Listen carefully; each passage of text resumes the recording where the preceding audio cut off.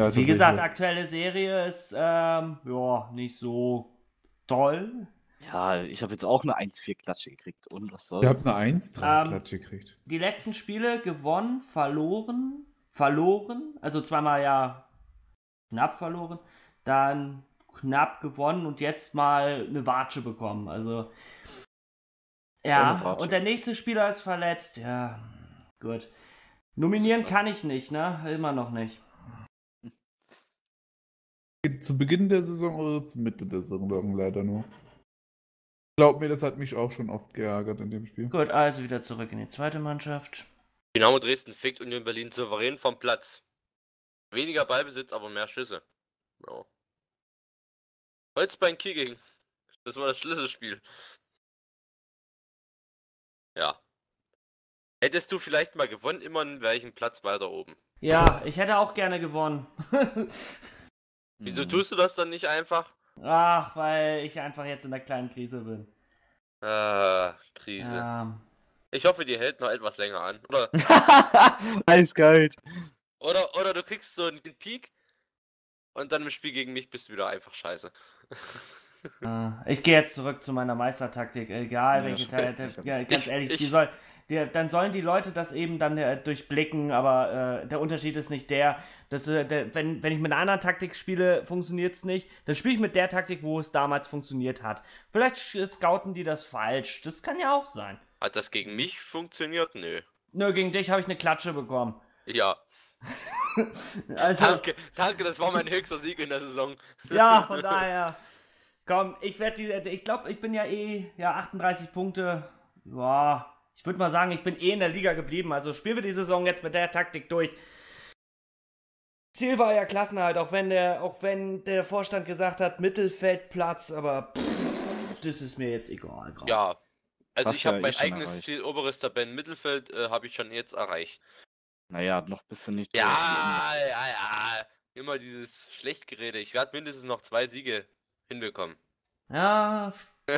Bis, vor, bis vorgestern habe ich echt geglaubt, so von wegen, es läuft ja nicht. echt super bei mir. Äh, Und habe echt doch. sogar geglaubt, dass das so läuft, dass es eventuell sogar für, um Aufstieg noch gehen könnte. Aber jetzt mittlerweile glaube ich eher nicht mehr dran.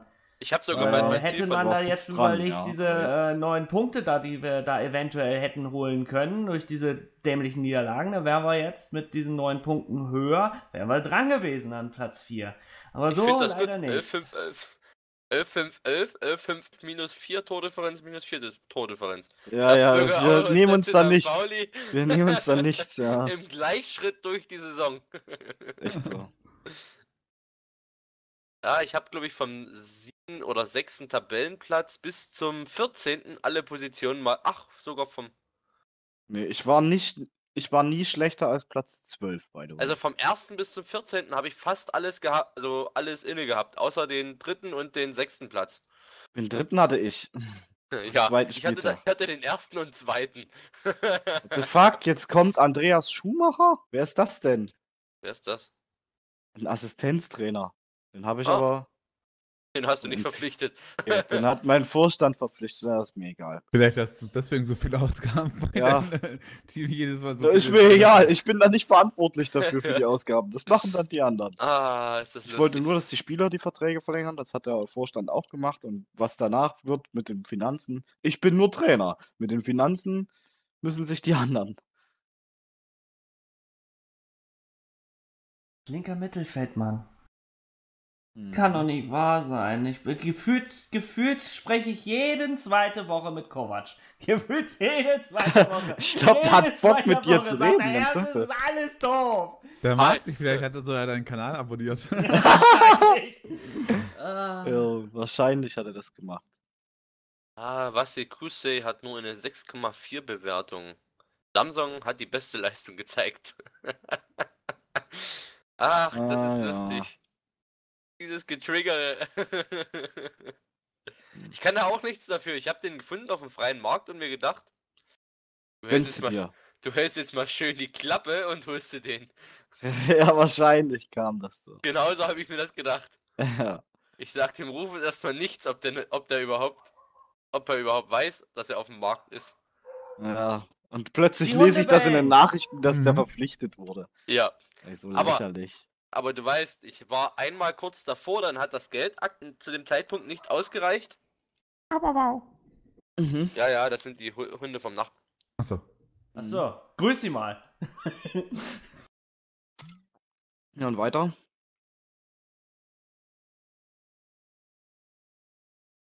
Ach, Hallo? du Scheiße. Du hast dein Herz nicht zu Ende gebracht. ja. Was denn? Wo war ich stehen geblieben? Ach ja, mit dem, dass das war- Geld nicht gereicht Ja, hat. dann hat das äh, Gehaltsbudget Alter, auf einmal fängt er an, über was anderes zu reden. Das ist so geil. Ich mag's ja, wenn, Leu- äh, wenn Menschen ihre, äh, ihre Sätze nicht. Photosynthese.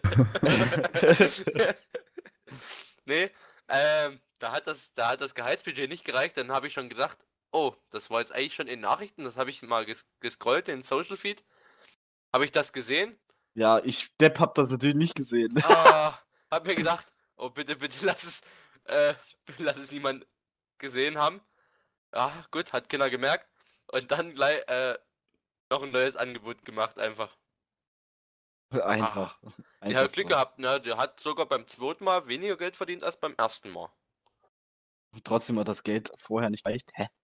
Ja, weil ähm, ich da noch Gehaltsbudget, Gehaltsbudget nicht einstellen konnte. So, Das hm. ging ja erst zur Transferperiode, wo ich das Ah, Geld ich bekommen habe. Ja. Äh, ups. Weil ich quasi mein Trainingsnote, Gehaltsbudget. natürlich sind meine Jugendspieler besser als meine Ei- Alteingesessenen. Alter, ich könnte kotzen im Strahl. Part-time, ähm, maybe. Bisherige Spiele. Oh lol. Meine Mannschaft hat gegen Cottbus U19 verloren. Nicht so geil. Oh, Trainingsplan. Ah, fuck, ich muss den Trainingsplan ändern, weil das Köln-Spiel an einem Mittwoch ist. Warum nicht an Was? einem Samstag?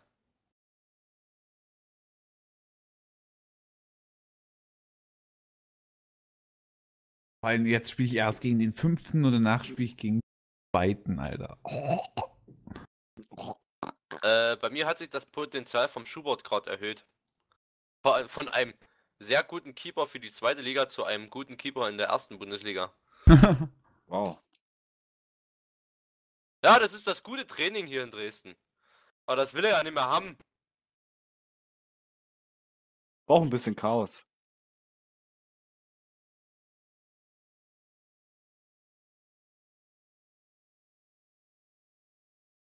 Er braucht etwas Chaos. Er braucht etwas Chaos.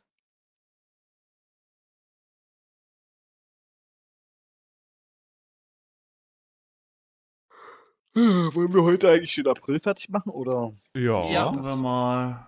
hatte ich eigentlich gedacht. Okay. Dann tun wir das. Oh, warte, ich muss auf Fortsetzen klicken. Äh, fortfahren. Ich beschäftige mich mal wieder mit allen lieber. Ich habe jetzt in letzter Zeit das ein bisschen ziehen lassen, weil es ja lief. Und jetzt muss ich wieder ein bisschen reagieren, weil ich ja wieder Verletzungspech habe. Oh, schon wieder, ey. Das ist unglaublich bei dir. Ja, deswegen, deswegen zerstört es leider wieder jetzt mal, äh, nachdem erst ein riesengroßes Tief, kurz vorm Abstiegskampf und sonst was, und dann ging es nach oben, und dann kommen die ganzen Verletzten und jetzt geht's wieder nach unten. Ja, Ah, stimmt es ist allerdings. einfach, ja, es ist Als einfach zurück waren, ging es wieder hoch. Ja. Ja, Aber zum Glück hast du jetzt eigentlich schon fast die 40-Punkte-Marke erreicht. deswegen, äh, überleg mal, wenn, wenn das nicht so gewesen wäre, wie angepisst ich jetzt hier wäre. Kannst du dir vorstellen. Du wärst da unten bei 26 Punkten. Ja, ja. Wie viel, Dann ah, würden viel wir ganz anders sprechen hier.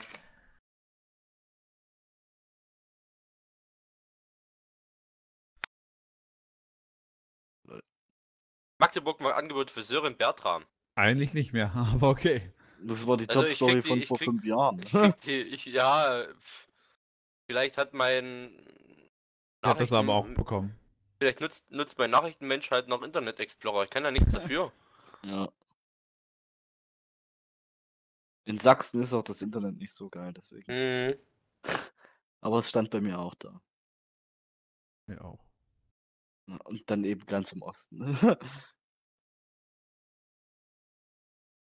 Alter, gegen wen spielt jetzt Magdeburg? Gegen Darmstadt. Autsch. Und, Autsch. dana und danach gegen Regensburg. Äh, Alter! Ist... Und was noch so?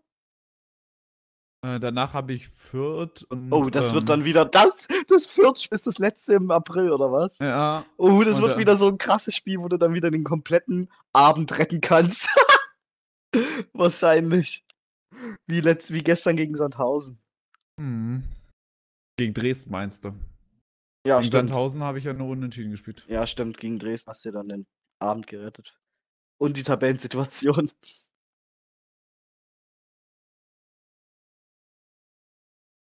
Ah, Todd. Ach hier, ins Todd ist bei mir jetzt Scout geworden. Na toll.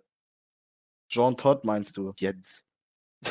Oh, Komm, der war gut. der war schlecht. Der war richtig Der war gut. schlecht. Wow. Unterstützungsniveau, Trainerunterstützung. Sehr gut. Respekt von Spielern aufgrund von positiven Beziehungen. Diese Krass. Beziehungen kann man mit dir doch gar nicht führen. Ja, da habe ich mir auch gedacht. Äh, Schon dein Vater konnte mich nicht leiden, weil ich mit Dynamo-Trikot auf der Couch gesessen habe. Mhm.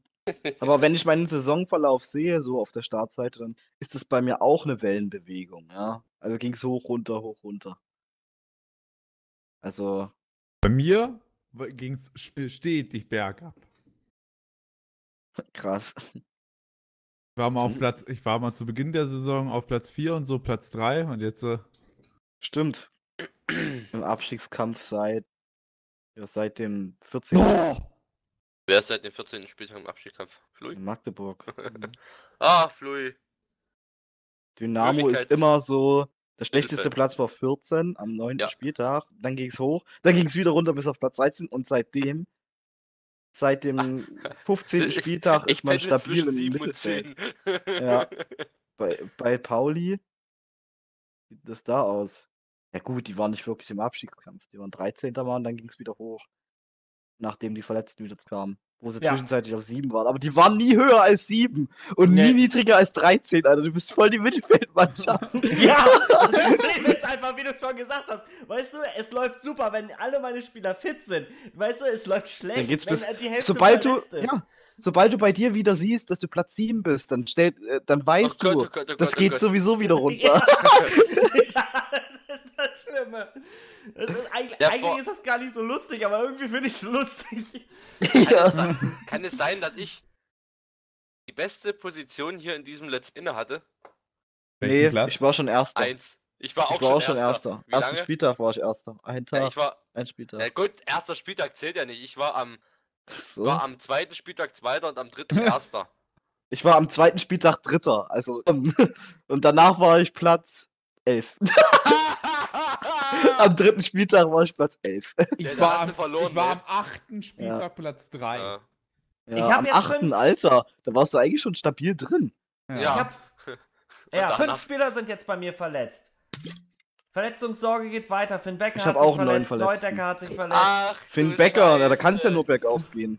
Hier, Das ist nicht zu glauben. Meine der Verletzungsweltmeister. meine beste Position war Platz 3, meine schlechteste Platz 17. Meine beste war 1 und schlechteste 14.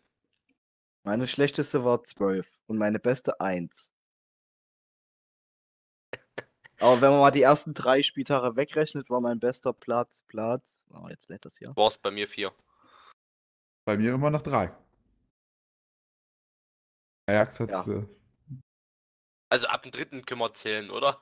Ja, da war mein höchster Platz 5. Zweimal sogar. Nach dem dritten war ich einmal Erster. Vogelsammer gewinnt. Aber- Überraschend. Ja. In der Woche. Äh, Ja. Der hat Uni? viel gegen mich reingehauen. Ja? Ja? Du hast dann dritten Spieltag verloren oder hast du den zweiten Spieltag schon unentschieden gespielt? Das weiß ich jetzt nicht mehr. Oh, Warte, ich gucke mal man kurz kann ja Terminkalender. Nee, Jetzt geht's gerade nicht. Nee, jetzt geht's gerade nicht.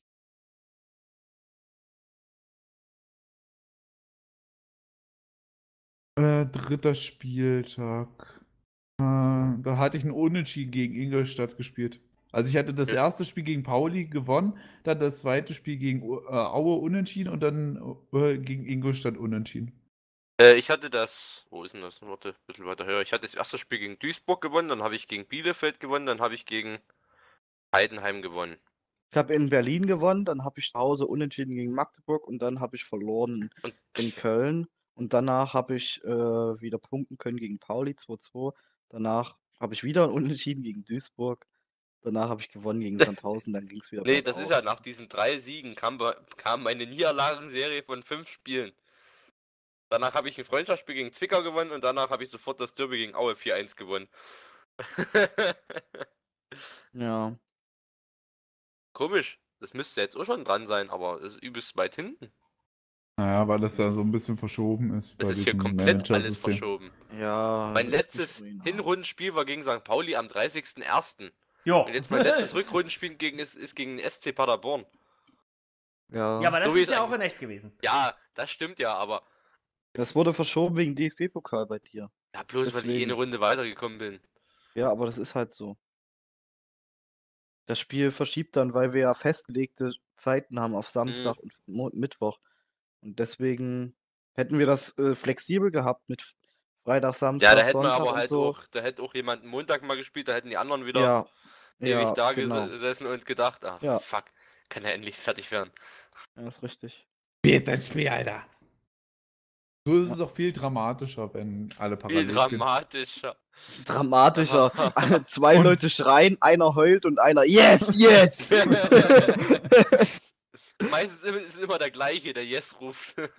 ja. Ruffy. Was? Nee, guck mal, wer auf Platz 7 steht. ich, äh, sorry.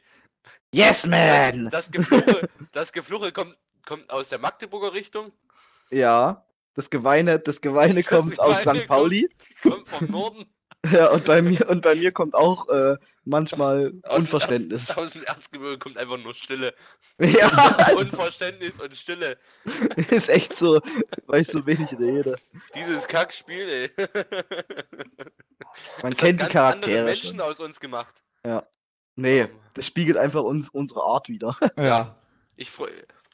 Jetzt, weißt du, wenn ich jetzt überlege, was hätte ich getan, wo du mir damals die Heimkarte für den Heimbereich geholt hast, für das Derby, was Ja. hätte ich getan, hätte Dynamo ein Tor geschossen. ja, Wow, Darmstadt ist überraschenderweise Favorit. Uh. wow, Aue ist Favorit ähm, gegen Heidenheim. ähm, Oh. Sandhausen vor schwieriger Aufgabe gegen Dynamo, aber ich spiele auswärts. Ich versuche natürlich Magdeburg zu helfen, mit, dem Tordif äh, mit der Tordifferenz ebenfalls, dass sie da ein bisschen die drei Tore ein bisschen aufholen. Warte mal, ich habe irgendwo eine wichtige. E-Mail. Gewinnt jetzt einfach gegen Darmstadt. Gegen Darmstadt. Wo sehe ich Ja. denn das? Die Spiele. Darmstadt hat jetzt nur 3-0 gegen Fürth gewonnen. Nur. Nur ich wollte ihn ein bisschen aufmuntern, dem ich eigentlich sagen wollte, dass sie nur unentschieden, aber da habe ich gesehen, oh, die haben ja 3-0 gewonnen. Darum wurde der Daumen erste vor FC den Köln. ersten. Was? Darum fordert den ersten FC Köln Sakai ernst zu nehmen. Also da scheint das Spitzenspiel anzuschwellen. Warte mal. Ach fuck, ich muss ja sogar gewinnen für Flui. Gegen wen spielst du? Sandhaufen. Naja, also Ja, komm, komm. Der Sandhaufen ist weit noch mehr weg. Druck. Der braucht Ja, noch mehr Druck von sind neun Punkte hinter mir. Ja, und Ja. Und wie viele Spiele sind noch? Sieben. Ja, sieben. Das sind Ja. immer noch 21. Ja, und das heißt, 40 Spiele braucht Sandhausen. Ja, für einen Klassenerhalt. Das, Ja. was Ja. Flui anzweifelt. Dass man 40 Punkte braucht, das habe ich angezweifelt. Ich Das hat gesagt, er 30 angezweifelt. reichen. 30. Am Anfang der Saison habe ich Ja. gesagt, locker 30 reichen, locker Ja. gegen die KI. Und jetzt so, oh shit, das wird nicht reichen, Und 30. jetzt sind sie äh, am 27. Spieltag 27 Punkte. Aber ich Hat sag's mal aber. laut, 35 reichen. Ja, Das bezweifle ich. Das bezweifelt, du sagst du nicht mal 40 reichen? Ich denke mal, 40 könnten reichen. Ah, der Rest. Ich meine, du hast jetzt einen Punkt mehr als die Spieler hast. Am Ende hättest du also sozusagen 35 Punkte. Wenn du es so weitermachst. Also ich sag mal so, ich würde mich freuen, wenn ich vielleicht noch äh, zwei oder drei Siege irgendwie mitnehmen könnte. Na, bei drei Siegen bist du durch. Oh. So, Also. Ich muss kurz Aufnahme anmachen. So, jetzt. Alter, dieses So. Schöne hier. St. Pauli gegen Arminia Bielefeld. Ja. Timon, Aha. klappt deine Taktik? Nö. St. Pauli gewinnt. Nö, St. Pauli gewinnt. äh, Magdeburg holt vielleicht einen Punkt gegen Darmstadt. Mauern, Flui. Mauern. Äh, wo ist er? Wo ist er? Ah, Vielleicht Aue. muss er mal wieder dieses, äh, ja, vielleicht muss er mal, äh, vielleicht muss Magdeburg mal wieder diese Freitechnik da. Ja. Weißt du? Spiel einfach so wie gegen mich. So hatte ich schon, äh, so hatte ich schon gegen, äh, so hatte ich schon gegen Hamburg gespielt und habe 1 zu 3 auf die Fresse bekommen und hatte nur einen einzigen Abschluss. Okay, dann spielt defensiver. Äh, Erzgebirge Aue gegen Heidenheim. Ein typisches Erzgebirge Aue Spiel, vielleicht so 5-4 Sieg. ja, ja, ja. Kann Oder halt eine 4 vorstellen. zu 5 Niederlage. Jeder, Ja. ja. es sollen halt Tore fallen, ne? Ja, Ah, fuck off. gut. Äh, bei mir genau derselbe Tipp wie letztes Mal, alle unentschieden. Okay, ich sag, Okay. äh, Magdeburg schafft das Wunder, die gewinnen mit Genau. 4 zu 2. So. Genau. Aue gegen Heidenheim. Genau. Da Ah, wird's ein ganz maues 1-0. so, was haben wir noch? Sandhaufen gegen Dresden. Sandhaufen. So. Und Aha, für äh, Sandhaufen, aha. Dresden gewinnt. Und ähm, Pauli gegen Bielefeld. Klappt deine Taktik? Nein.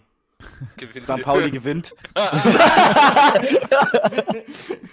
Also, ähm, Sandhaufen gegen Dynamo Dresden. Ich sage als Sandhaufen-Fan 2 zu 1 für Sandhaufen.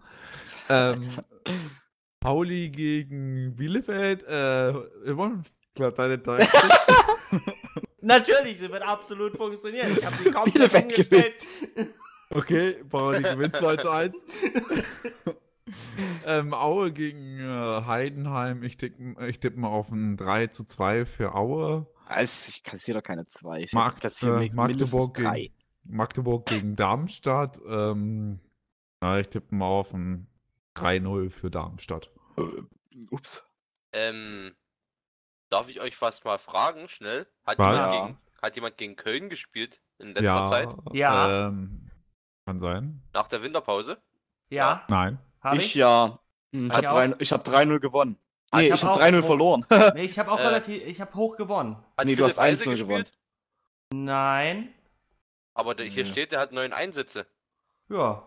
Der muss ja gegen euch Ja, vielleicht wurde er. Ja, beim gegen mich hat er gespielt. Ah, Vielleicht ist er bei mir ge- eingewechselt worden. okay. Hat sich ja gelohnt, den zu verkaufen an den direkten Konkurrenten. Ich meine, wenn er spielt, Ja. Wollten ja nur loswerden. gut für jeden, sagen wir mal. Ja, eine Win-Win. Ja, ich weiß nicht, wie viel Geld er verdient. Noch vielleicht noch eine Win-Situation. Ja. Verdient schon mehr, denke ich, Köln. Ja. Aber mit viel Glück könntest du sogar angreifen. Oben. Aber mit deiner Tordifferenz. ah! Sag mal. Richtige. ja. Ach Na, nein, ich hab ja die zweite. Mannschaft verliert jetzt auch wieder. Ach, das ist doof. Änder mal die Taktik. Napoli Zweite 5-0, Mannschaft spielt bei mir am Sonntag. Bei mir auch. Ja, Obwohl es geht so U19. gut auch mit der zweiten Mannschaft. Auch die Was? zweite Mannschaft war Tabellenführer. yes! Freiburg! Alter! Freiburg gewinnt. Ja, Freiburg. gegen Werder, Alter. Betrug. Trug. Lol. Also ich bin dafür Freiburg. Ich nicht. Steht's denn in der Liverpool ersten gewinnt Liga? gegen Bournemouth. Gut, woran lag es? Leute? Ah ja, Bremen Ja, woran hat es gelegen? Hm, Nachher deswegen ja. fragt man sich immer, woran es gelegen hat. Dann hat's gelegen. Dann hat's gelegen. Oh, Andrew Rutten nicht verfügbar. Philipp Klingmann gesperrt. Bei besten Ja. Spieler von Sandhausen. Ja, RIP, würde ich sagen. Für mich, ja. Weiß gar nicht, wen ich jetzt decken soll. So, jetzt muss ich Linus Wahlquist wieder in die Mannschaft holen, weil Den Schleusener solltest du decken. Der macht ganz schön ordentlich Tore. Okay. Hat er gegen dich Tore gemacht? Ja. Oh, Fitnesstest. Okay, Quesic kann doch wieder spielen. Der hallo. Putzen kann doch spielen? Okay. Hey, lol, der kann doch spielen? Okay, den kannst du direkt spielen, Junge. Oh, f- Hm, Kreuzer könnte ich, möchte ich aber nicht spielen lassen. So, das sind die Spiele. Nicht. Gräfe ist bei mir Schiedsrichter bei 9000 Karten verkauft zu Hause. 9,4. Ist okay. Finde ich gut. Sehr gute Verhältnisse. Perfekt. So. Durchgesperrt, Dovedan fraglich. Feuerkauf fraglich. Okay, gut. Ich bin. Ja. Teamauswahl habe ich jetzt durch. Gegen wen hat Sandhausen das letzte Spiel gewonnen?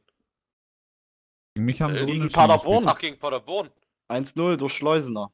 Ah, So, das sind die Partien. 6000 Karten noch verkauft. Was? Auswärts? Ja, auswärts. Ja, gut. 6800. Ich wollte schon sagen, hä, ein Heimspiel. In Dresden? Hä? Ich habe Pascal Müller.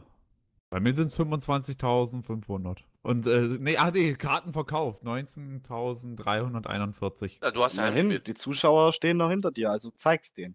Naja, 6.000 weniger. Jetzt also, mit einem äh, Sieg gegen Darmstadt.